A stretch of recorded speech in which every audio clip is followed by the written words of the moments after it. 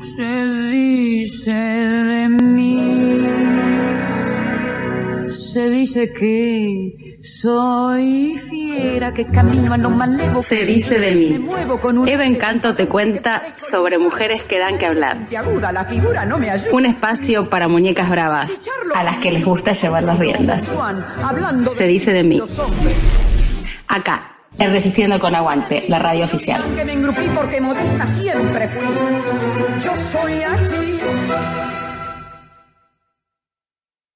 Buenas tardes, queridos radioescuchas. Estamos nuevamente en Se dice de mí, en Resistiendo con Aguante, la radio oficial. Y hoy vamos a tomar un té a larga distancia con Anaí Rubín. Anaí Rubín es rosarina, es psicóloga y emigró a New York hace algunos años, donde ha hecho una labor bastante intensa en el área de emigración, inmigración. Eh, y también, paralelamente, colabora periodísticamente con el programa La Mañana de Víctor Hugo Morales y en el multimedio Telesur. Hizo dos documentales. El primero se llama Nueve Lunas, que es sobre la mujer y mm, en distintas culturas y religiones. Y el segundo, que es del que nos vamos a ocupar con ella hoy, es eh, Historias de Coraje, Mujeres Políticas Argentinas, que se estrenó en el 2015 en mayo en el Centro Cultural de la Cooperación y es un documental que rescata la participación de la mujer en la vida política argentina. Tiene, um, empieza a principios del siglo XX y va combinando entrevistas activistas y políticas con material histórico. Hola eh, Anaí, acá la, tenemos el gusto, el placer y el honor de tenerla Anaí Rubín con nosotros, que es documentalista, periodista y psicóloga, una verdadera muñeca brava multitasking que hace de todo, impresionante la labor de Anaí. Y mm, primero te queríamos que nos cuentes un poco de, del documental que está dando la vuelta al mundo sobre las mujeres políticas en Argentina. Bueno, hola, ¿cómo estás? Te agradezco la presentación, me encantó lo de muñeca brava. brava soy, muñeca no me gusta mucho, pero eh, brava sí soy. Seguro. Este, bueno, mira, yo vivo en Nueva York, para la gente que no obviamente no me conoce, uh -huh. soy psicóloga y periodista, hace 20 años que estoy acá y um, empecé, viste, a trabajar el tema, me interesa, me interesa mucho el tema de la inmigración y el tema de las mujeres, o sea, que esto no es nuevo para mí. Antes de, de, venir a vivir a Nueva York, yo ya había escrito un artículo en página 12 sobre el tema de las mujeres. Uh -huh. O sea, que eso es, esto es algo a mí que me, me interesa mucho, ¿no? Uh -huh. Y bueno, viviendo acá y viendo la lucha de las mujeres latinoamericanas, y obviamente eh, me, me, toca mucho como por Argentina y a, a, partir de la historia nuestra y cuando eh, sube Cristina a la presidencia, Cristina Fernández de Kirchner, sí. Y la lucha no solamente de Cristina, sino de, de, de, muchas mujeres, de mi abuela y mis abuelas inmigrantes rusas, claro, sí. eh, la, la, lucha por la paz y por la liberación de, del mundo, la lucha que ellas tuvieron contra la, la Segunda Guerra Mundial. Exacto. Y en, empecé a pensar, y bueno, ¿cómo, ¿qué aporte yo puedo hacer a mi país? En realidad cuando lo, empecé a pensar esto, sí. era con el objetivo de volverme a Argentina, eh, ahora lo estoy pensando porque obviamente con el cambio de gobierno lo sí. estoy dudando, pero ese fue uno de los objetivos, viste, es como un aporte mío, un granito de, de arena. Y empecé a, a, ver, digo, ¿cómo, bueno, cómo, cómo cuento? Porque, ¿cómo, ¿desde dónde cuento? La historia uno lo puede contar desde el lugar que está para uno, ¿no es cierto? Claro, exacto. Y, y dije, bueno, empecé a pensar, a ver, quiero contar la historia de las inmigrantes, de las primeras inmigrantes, y sí, y sí. Y hablé con Renata Gimi, que es mi amiga y, y compañera de documentales, ella es eh, documentalista, uh -huh. eh, y hablando, bueno, empezamos a, a, pensar, yo empecé a viajar a Argentina y empecé a, a, a ver que sería bueno contar la historia no solamente eh, desde una mirada de un solo partido, partido político, sino de varios partidos. Exacto. Y, y, bueno, y ahí se me ocurrió hacer una historia de las mujeres políticas, después le agregamos historias de coraje, porque bueno, realmente la, las mujeres han tenido mu mucho coraje para afrontar un montón de, cosas de, en, Argentina, no solamente en Argentina, pero el tema de la discriminación. Eh, que, y si cuando vean el documental, eh, qué difícil le fue, eh, no solamente a las primeras que llegaron a Argentina, sino inclusive las que ahora son diputadas o senadoras, a pesar del cupo, del famoso cupo, del 30% de mujeres al Congreso, todavía no, no están a la par de los hombres, ¿no? Eh, obviamente que haya sido elegida una presidenta mujer es muy significativo, pero bueno, después dentro de un rato seguro vamos a hablar de que hay muchas mujeres inclusive que no, no la quieren, no solamente por cuestiones políticas a Cristina, no la quieren porque no se bancan a alguien que esté ahí en el poder. Claro, surge.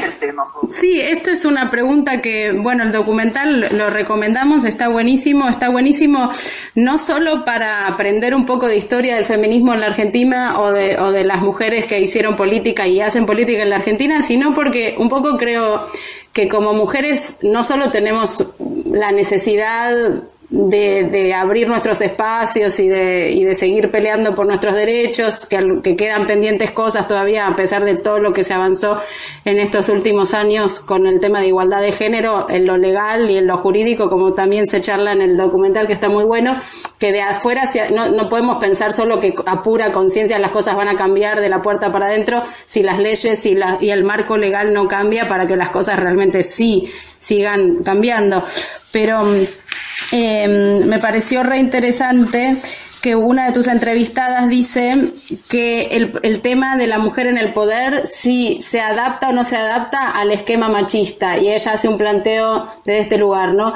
es, es, una necesidad también que nosotras nos, nos repensemos, porque no es una cuestión solamente de, de, tirar el tema del machismo hacia afuera, sino de ver nosotras eh, en nuestra problemática que estamos en una cultura machista, de no engancharnos nosotras en ese discurso, ¿no? Ella decía, por ejemplo, que mm, las mujeres en cargos de poder muchas veces se masculinizan o que quedan atravesadas por el discurso machista ellas mismas sin darse cuenta de que no están actuando desde un lugar verdaderamente de la mujer, ¿no? Eso me parecía clave. Sí, eh, me gustaría así nombrarlas a las entrevistadas. Dale, dale. Un poquito eh, bueno, como dije antes, eh, quise abarcar la mayoría de los grandes partidos eh, políticos en la historia nuestra, algunos más recientes y otros centenarios. el Partido Justicialista, el Frente para la Victoria, Cristina Fioramonti, senadora y presidente del bloque de senadores del Frente para la Victoria. En el momento, yo estamos hablando de hace tres años. Claro. María Eugenia Zamarreño, diputada nacional, también por el Frente para la Victoria. Por el Partido Socialista, Mónica Fen, que es la intendenta municipal de Rosario. Laura Capilla es directora de Políticas y Juventudes de la Municipalidad de Rosario. Ella es la que dijo esto que yo te estaba diciendo. Sí, sí, sí. Eso lo dijo ella. Sí, el Partido Comunista, Graciela Rosenblum, presidenta de la Liga de los Derechos eh, por el Hombre. Zaira Yamaruk, secretaria de Relaciones Internacionales de la Federación Juvenil Comunista. Por la Unión Cívica Radical, Elba Roulet, que ex vicegobernadora de la provincia de Buenos Aires. Solange Risuti por eh, un estudiante de Franja Morada, por el PRO, propuesta republicana, Paula Bertol, eh, diputada nacional, y Natalia Martins del Centro de Estudiantes de Derecho del PRO. Y además le hicimos también un, homenaje a Fanny Edelman, una luchadora del Partido Comunista, Alicia Moro de Justo por el socialismo, a Evita Perón, obviamente el Partido Justicialista, y a Florentina Gómez Miranda de la Unión Cívica Radical. Eh, un homenaje a mujeres, a cuatro mujeres luchadoras que dieron su vida por una idea, ¿no? Y bueno, me, nos pareció, me pareció que era interesante, vos viste el documental, las, las miradas que coincidían bastante, en realidad me sorprendió, sí, ¿no? es que sí, más coincidencias que, diferencias. Totalmente, cuando lo, cuando lo miraba pensaba, no, no habrá que hacer como en, en esta tragedia griega que las mujeres deciden no mandar más a la guerra a los hijos y basta y, y listo, viste, qué sé yo, de golpe, a veces pienso, ah, ¿existe una construcción de poder femenino que pudiera solucionar estas problemas problemáticas desde otro lado? No sé, vos cuando lo estabas haciendo te lo planteaste. Mira, yo yo la verdad que no sé, no, te digo, si vos me preguntás, yo no sé si soy feminista en el sentido así más, más radical de la palabra. No, no, no. Yo, yo, creo que los cambios, las revoluciones se hacen con el hombre y la mujer a, codo a codo, pero si es verdad, si es verdad que, como dije antes, a la mujer le cuesta mucho más, y Cristina lo dijo en un discurso, en el documental está, sí, está. que le cuesta más, le cuesta más llegar por ser mujer. Eh, se ha logrado mucho y sí, se ha logrado muchísimo. Eh, hay, y no solamente las mujeres que participan estrictamente en partidos políticos, sino en los grupos sociales. tenemos a, Milagro Sala, a las madres de Plaza de Mayo, a las abuelas de Plaza de Mayo. Pero ¿cuánto costó? ¿No? Eh, una lucha terrible. Acá en Estados Unidos, bueno, también los grandes movimientos feministas de los 60 tuvieron una lucha tremenda. Entonces, fácil no es, pero sí creo que la lucha se va a lograr ¿no? codo a codo con el hombre. Pero la mujer, la mujer este, tiene un, rol, un rol fundamental en el cambio. Sí, eso es eh, totalmente, sí. Ahí, decían una, bueno, no sé si casi todas las entrevistadas, pero este tema de el rol de, de la maternidad, el rol de la política, creo que Mónica Fe, la intendenta de Rosario, decía, bueno, que ella discutía mucho con los compañeros del Partido Socialista de ella, porque las reuniones las hacían a las 11 de la noche. Y ella era la única mujer, pero ella tenía que atender a sus hijos, hacer la cena, ir a las reuniones. Claro. Y ellos, ellos podrían haber pasado la reunión más temprano y no lo hacían. Eso es, interesante también, porque a pesar de ser socialistas o comunistas o, radicales, ese es un tema a tratar todavía, ¿no? Sí, sí, es un, sí, por eso yo digo siempre como que el cambio a, grandes, o sea, los grandes objetivos y las grandes aspiraciones son fáciles de, de expresar y de soñar todos en conjunto, en partido, en la mesa del café o en la agrupación que quieras. Ahora de la puerta para adentro hay que ver quién está dispuesto a negociar la hora de la cena, ¿viste? Porque es verdad que en, la grande revolución, tomemos la revolución cubana, todavía hasta hace 10 años había, había muchas dificultades, por ejemplo, con la homosexualidad o dificultades con también con algún tema de las mujeres, ¿no? Y sí.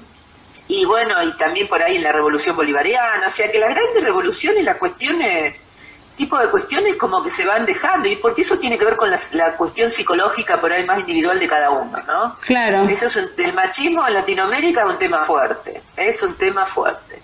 Así que mm, quizás se hacen cambios, bueno, económicos primero y después lo otro va quedando como ahí hasta que, bueno, obviamente se trata. Ahora, volviendo al tema de Cuba, hay un se hizo un desfile el otro día de, la comunidad gay, eso es importantísimo. Es importantísimo, claro. Un montón de tiempo, Claro. Pero bueno, es así, los cambios no es como cuando uno quiere, en el momento que uno quiere, no. ¿no es cierto?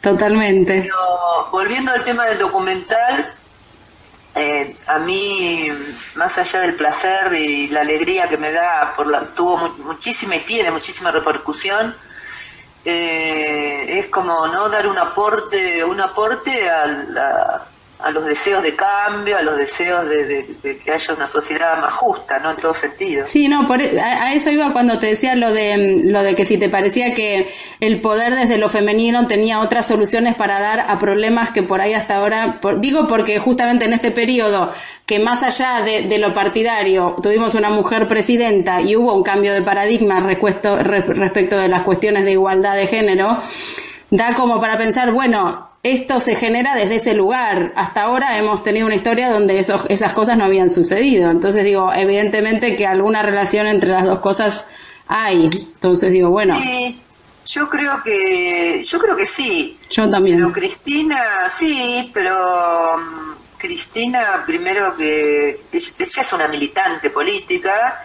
y obviamente es mujer. Entonces, ¿verdad lo puedo decir? sí, pero primero yo digo, primero revolucionaria. exacto. militante fue mujer. Pero sí, es verdad que se consiguieron que se consiguieron logros impresionantes, impresionantes en estos 12 años de, ¿no? del gobierno nacional y popular. Y, y bueno, hay que seguir hay que seguir avanzando, hay que seguir avanzando por eso te... A ver qué, se puede lograr. No, es que por eso te preguntaba respecto a lo que había dicho Laura Capilla de, em, eh, las mujeres que ocupan cargos de poder o las mujeres que igual están atravesadas por la cultura machista, un punto que de todas formas, aunque estén en un cargo de responsabilidad, no están tampoco militando para la causa de la, igualdad de género, qué sé yo. Y respecto de eso, no sé, no, eh, sé vos cómo, cómo la ves a Hillary candidata que estás allá. ¿Cómo es ella? Bueno, ella tiene una, bueno, ella es una persona, tiene una personalidad muy fuerte, no, no, aunque sea mujer, ella no creo que ella va a dar muchos pasos este, que tenga que ver con la, con la igualdad. ¿Por qué? Porque más allá de que es mujer, pero tiene una política que beneficia al, al 1% de este país. No, yo no creo que ella avance muchísimo más allá de mujer. Por eso, sí, no, es que a eso iba. No sé si, no creo que, yo creo que primero hay que, hay que decir, bueno, ¿a qué, ¿en qué políticas haces? ¿Beneficias al pueblo o beneficias al Wall Street? Exacto. Entonces ahí después viene lo de sí es mujer, pero no a mí pero no nos suma, sí, sí. No me dice nada que ella sea mujer. No, no, para eso. No me dice nada, este, no, como que no creo que ella va a avanzar en nada, porque ella, bueno, responde y encaja perfectamente en el sistema capitalista, con lo cual va a seguir beneficiando a los que se benefician hasta ahora. Lamentablemente es así, yo no creo que haya demasiados cambios, ni para las minorías, ni hablemos de las mujeres solamente ni para los afroamericanos, ni para los latinos. No creo en ella. No, no, no. obviamente tampoco en Donald Trump. No, no, no. no. Digo, no, creo que va a haber grandes avances, va a seguir la misma política de, eh, que tiene Obama. Eh, peor porque ella está más a la derecha que Obama. Por eso. Así que no, no creo que ella, por ser mujer, va a cambiar nada. ¿eh? No, no, no, por eso. Eh, Condoleza Rice, ¿te acordás? Uy, sí, sí, otro, otro. Bueno. ¡Qué miedo! sí. Tenemos a varias. Sí, tenemos a varias, no, pero es que a eso iba el, el tema, que como decía esta, esta colega, que, justamente que estar en la, en la política y ser mujer tampoco era una garantía justamente de, de defender a las minorías ni en los derechos de las mujeres. A eso iba la cuestión, exacto. Sí, no, no, yo creo que yo creo que primero hay que preguntarse, bueno, es mujer muy bien. ¿A quién responde? ¿Estás en el campo popular o estás del otro lado? Y ya está. Y ahí empezás a mirar que es mujer y, y, qué va a hacer. decía acá, bueno, eh, eh, si en un, te digo un segundo, acá las mujeres en este país, a pesar de tantas luchas, ganan menos que los hombres. ¿Viste? acá es así. La verdad que no es así. No es así se desconoce, se desconoce y los medios se encargan muy bien de que esto se desconozca. Por eso. Muy poca gente sabe la realidad social y económica y política de lo que pasa en Estados Unidos. Sí, un poco. Sí. Bueno, escúchame. Eh, te quería preguntar otra cosa respecto del documental que, que, como decíamos, está dando, viajando por todas partes porque hay tanto interés en el tema de, la mujer y, también un poco en el tema de Argentina, que, es tan fluctuante. Eh, ¿Vos cómo la ves ahora Argentina desde allá? Vos hace rato que estás viviendo afuera, venís siguiendo los acontecimientos y tenés una visión. Sí, yo, como te decía, me hubiera gustado ir a, volver a vivir, porque hace 20 años que estoy acá y lamentablemente no pude hacerlo en el, en el gobierno de, de Cristina y lo lamento eh, y ahora la verdad que da un poco de miedo, ¿no? Volverse. Acá sabemos, y hablando de mujeres, puedo podemos hablar después de, la canciller Susana Malcorra. Ah, bueno, sí, contanos, contanos. Porque vos... Bueno, acusada de... Eh, no sé si la gente sabe, pero Susana Malcorra era la jefa de gabinete de Ban Ki-moon, Naciones Unidas. eh, hace, hace dos años la acusaron eh, los militares que van supuestamente a zonas de, paz para ayudar en, Central África, eh, se cometieron violaciones contra chicos a cambio de chicos de 7, 8 años por fuerzas francesas y africanas, violaron a chicos de 7 y 8 años por platos de comida. Ah, terrible. Eh, gente de Naciones Unidas lo denunció, Susana Malcorra responsable, porque ella era jefe de gabinete de la información, lo cajoneó por un montón de tiempo. Dios mío. Eh, hasta que un funcionario sueco la denuncia, se arma toda una investigación. supuestamente Ban Ki-moon no sabía, después se entera. En esos momentos Macri la, invita para que ella sea, eh, le ofrece el cargo de, canciller. Eh, a mí me parece que no es casual que ella haya salido en esos momentos. Y lo que me llama la atención, yo no sé si esto está, se divulga, se difunde mucho en Argentina. Acá salió en distintos diarios, entre ellos el New York Times, también salió en The Guardian en Inglaterra, y porque ella está nominada, ¿no es cierto?, entre una de las personas para ocupar el cargo de, de Ban Ki-moon. Ah, la verdad que es bastante peligroso que alguien que haya ocultado por defenderse a sí mismo y a cuatro o cinco que estaban ahí integrando el gabinete de Ban Ki-moon, un desastre como chicos violados por fuerzas militares mandadas de Naciones Unidas, a mí me parece terrible. A mí me parece... Es tremendo. Y no sé quién lo dice esto en Argentina, yo no sé, yo no escuché mucho en Argentina, pero acá salió... Salió. Salió en New York salió en un montón de diarios, en, en, BBC, en The Guardian. Entonces, eh, bueno, los que no lo sepan, que, investiguen. Que investiguen, claro. Y del tema Panama Papers, que también parece que en Argentina queda como un poco relegado, pero a nivel internacional es bastante relevante y hace bastante ruido, ¿no? También acá salió, el, los primeros días, Macri estaba en todas las pantallas de televisión, en todas. Junto con, bueno, con dos o tres, no me acuerdo exactamente. Uno de Islandia que renunció. Sí, sí, pero estaba, en la, bueno, todo el mundo supo acá. Todo el mundo. Así que la verdad que bueno, no, esa, esa es otra, esa es otra vergüenza. Sí, es, es tremendo, es tremendo. Es tremendo. En fin, hemos llegado al, al punto de, de, de quedarnos ahí sin palabras pensando presidente en escándalo de corrupción internacional y ahí te quedas sin palabras, pues sí, sí, ahí qué respuesta cabe. Estamos como no se entiende.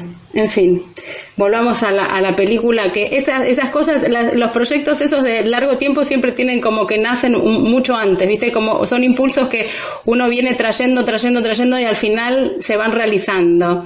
Yo me imagino que, que, mm, que vos te relacionás entonces con el tema mujer a través del tema abuela inmigrante. También, también mi abuela es inmigrante y yo también siempre me, dediqué a las cantantes de principio de siglo, creo también por el tema de, de, esa, de las mujeres viniendo hacia un nuevo continente, como a construir algo nuevo, ¿no? También. Sí, bueno, no sé si viste que el documental está dedicado a mi abuela, Sonia, y a mi mamá, Anita. Claro. Porque siempre las admiré, porque fueron, fueron y mi mamá vive, por suerte, y son tipas luchadoras y siempre estuvieron presentes junto a sus compañeros, mi papá, mi, abuelo. Así que yo, yo siempre admiré eso de la lucha, de las, siempre me llamó la atención ¿no? las primeras inmigrantes, eh, cómo llegaron ahí. Bueno, ahí en el documental contamos, ¿no? De Alicia Moro de Justo, eh, Fanny Edelman, gente que Fanny Edelman son hermosos, en, la en la guerra civil española, ella se fue con su compañero a pelear. Fuertes. referente, era presidenta de la Unión de Mujeres Argentinas. Sí. Eh, y bueno, no era, no era fácil hace 50 años, sí, 60 años luchar, ¿no? Ahora no lo es, Ahora tampoco lo es, pero antes sí, eso yo también me hago esas ideas. No, eh, gente militante y gente que, que dio, vinieron ya, la mayoría vinieron con ideas políticas de allá, ¿no es cierto? Eh, y la fueron se fueron conformando con las anarquistas, las socialistas, las comunistas, después las peronistas, con Evita, cada una de ellas en distintas, y creo que realmente todos luchaban por el, por estaban dentro del campo popular. sí, Entonces yo ahí va mi, mi pequeña, mi reconocimiento, viste, un, pequeño homenaje también. Homenaje a, las mujeres de mi familia y bueno, tantas, tantas amigas de mis abuelas que también eran todas, que vinieron de Polonia, de Rusia, escapando del nazismo y de la discriminación y siguieron luchando hasta el final de sus días. eso es lo que yo, es, eso es lo que yo, es el rol que tengo, es la mirada, ¿no? Es lo que yo aprendí, no, no es que me lo, lo inventé yo. Exacto. es lo que yo viví de toda mi vida, yo viví que mis abuelas, mi mamá, ellos siempre estuvieron luchando.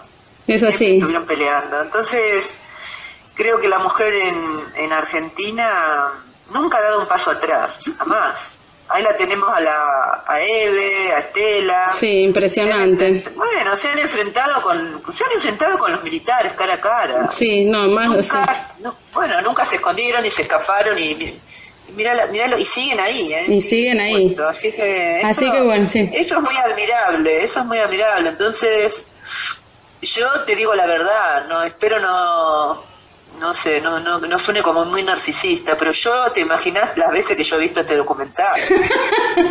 sí, ¿Te imaginas? Pero quedó buenísimo. a mí me, bueno, pero a mí, me, a mí cuando va terminando el documental, a mí me emociona. Y a mí también me emocionó. A mí, a mí también me emocionó, sí, porque es de una. Eh, eh, la figura de las madres es de, de, una entereza y de, una, y de, un, de un coraje, bueno, así ya también se llama el documental, pero realmente más que admirable, que es un ejemplo, como creo que nos toca a todos, más allá de, de los partidos y más allá de, de todas las elecciones individuales y se vio eso también en la última marcha del 24 de marzo, fue impresionante.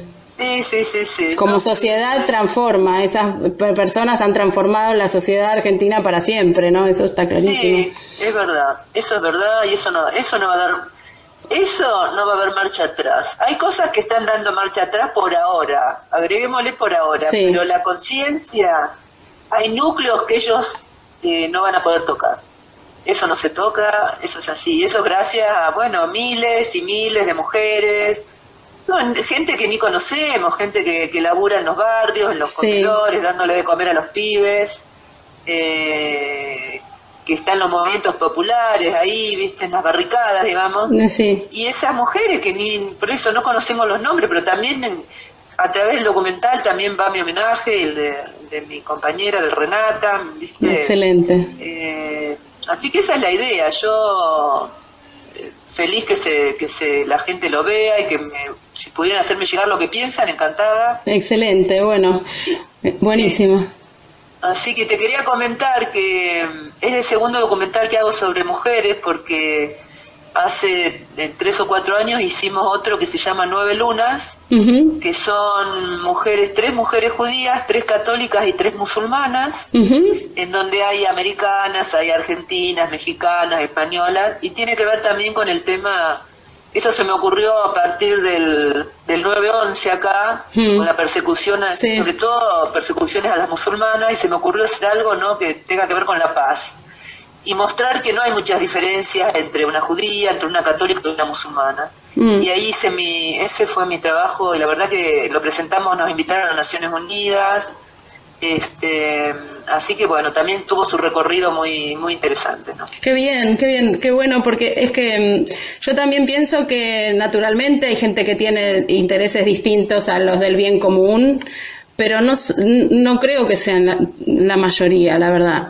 O sea, creo que la mayoría quiere lo mismo la mujer musulmana, la mujer judía, la mujer, eh, etcétera. Es importante rescatar todas las cosas que tenemos en común porque si no, los medios todo el tiempo nos instalan la diferencia, la diferencia, la diferencia. Tal cual, por eso yo quise mostrar Me que parece genial. más básicos que es la paz, el respeto, que ahí todas coincidían. Excelente. bueno, trato de, cuando hago algo que quede, qué sé yo, que sea como una semillita para que después la gente investigue o siga trabajando en eso, ¿no? Ese es mi, pequeño aporte. Bueno, muchas gracias Anaí, excelente, gracias por, contarnos de tu trabajo, así todos sabemos un poco más. Y, y, bueno, un saludo para Argentinos, para la victoria también desde acá. Y desde... un saludo para, sí, un saludo para, para todos y bueno, ojalá eh, se interese por el documental y lo vean y después me dicen qué, qué opinan. Bueno, gracias un montón. Desde Resistiendo con Aguante, eh, te mandamos un abrazo. Un beso para todos. Un beso.